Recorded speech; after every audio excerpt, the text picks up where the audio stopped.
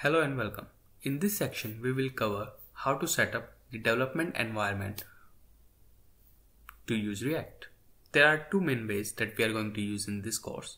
One is to use an online IDE called Code Sandbox. And the other way is to set up all the things needed to get a React project up and running on your local machine. Firstly, let's cover the code sandbox one if you guys want to use the online IDE instead of configuring a, a local system and setup. So I'm going to head over to Google and search for code sandbox.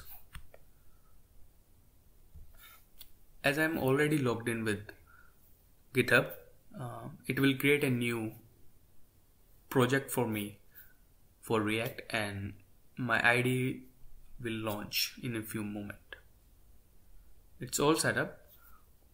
In this section, on the right side, it is showing me a preview of my application which is created using React. On the very left, this is our explore section where we can check out the files and whatnot. You can also add dependency. These are the npm packages node package manager dependencies. Uh, you can see there are three react react dom and react scripts. We will cover them later. But for now if you look at uh, we have a file called app.js which include some code that render this piece of UI on the right. Cool